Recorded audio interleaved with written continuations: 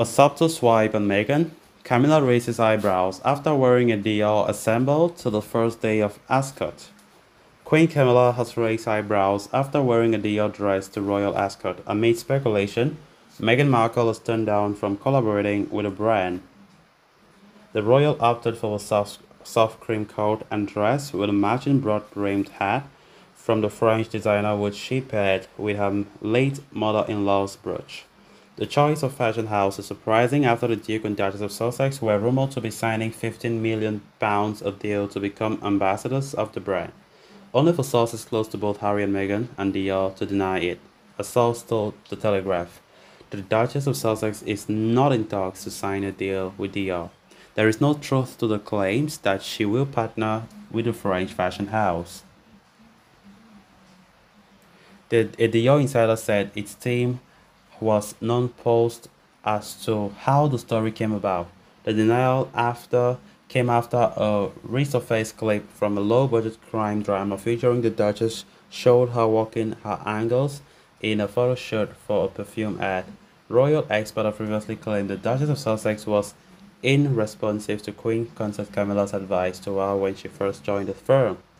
A biography of the Queen Consort written by Angela Levin claims that the then Duchess of Cornwall organized lunches with Meghan Markle and did her best to welcome her into the family, but her advice fell flat with an unresponsive Meghan.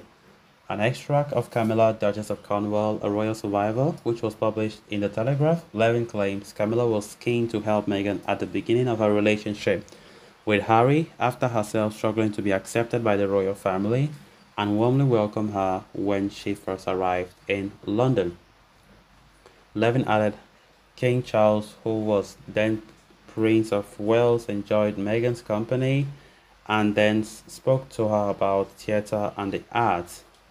In an attempt to help the Duchess of Sussex find her feet, the Queen Consort advised her on how to handle pressure of being in the public eye and the scrutiny she would face as senior member of the royal family. The King and Queen Consort are also said to be worried by the constant attacks from the Duke and Duchess of Sussex, the Mail on Sunday revealed in December.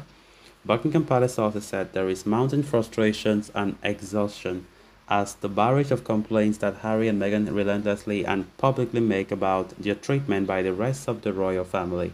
While a deal to work with them is not currently happening, the couple appear to certainly be fans of the fashion house.